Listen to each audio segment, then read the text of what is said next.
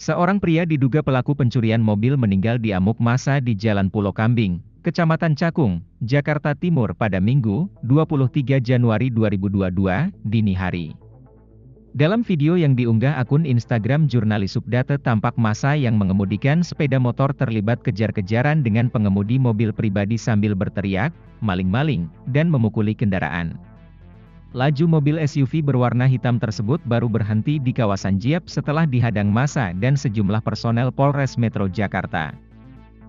Saat mobil berhenti, masa yang sudah beringas seketika menarik pelaku dari kursi kemudi lalu memukuli pelaku hingga menderita luka berat dan tewas di lokasi kejadian.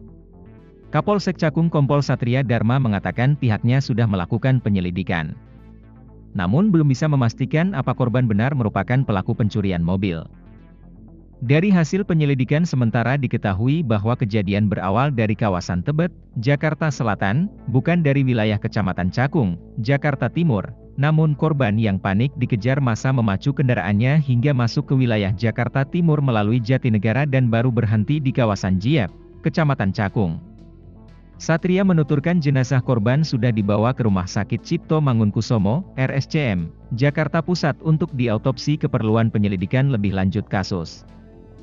Barang bukti yang diamankan di antaranya mobil korban, serta helm, batu, dan benda lain digunakan masa untuk merusak mobil dan menyerang korban hingga tewas di lokasi.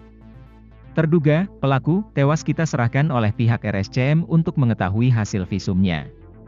Diduga pelaku satu orang dan sudah meninggal dunia, tuturnya.